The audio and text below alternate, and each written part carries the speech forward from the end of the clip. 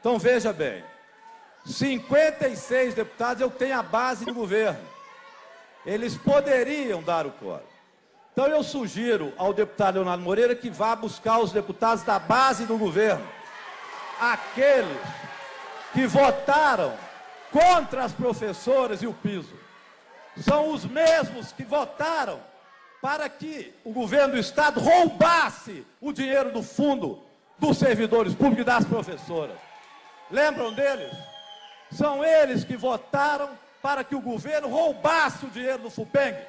E o governo roubou o dinheiro do FUPENG. Tirou de lá bilhões, que era o dinheiro de vocês. Cadê eles que não estão aqui? Armaram aqui uma marmelada, um circo, é o que fizeram aqui. Cadê eles? Cadê os deputados que votaram contra as professoras durante 12 anos? Cadê os deputados que votaram na greve e prometeram que iam dar tudo para as professoras?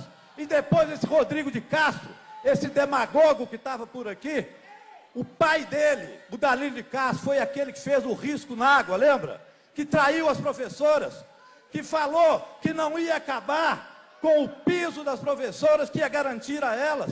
A greve acabou e ele traiu as professoras. parte, Lembram disso? Esse é o filho do Danilo de Castro, o demagogo que estava aí. Não dou a parte, não. A. Vossa Excelência, agora me escute, faz favor.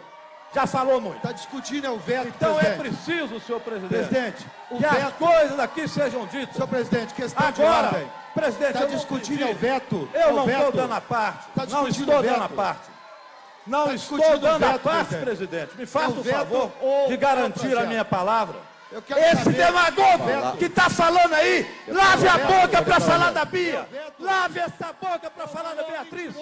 Lave essa sua boca suja para falar da Beatriz Figueira. Seu demagogo, demagogo, demagogo, demagogo. Seu traidor das professoras. Traidor das professoras.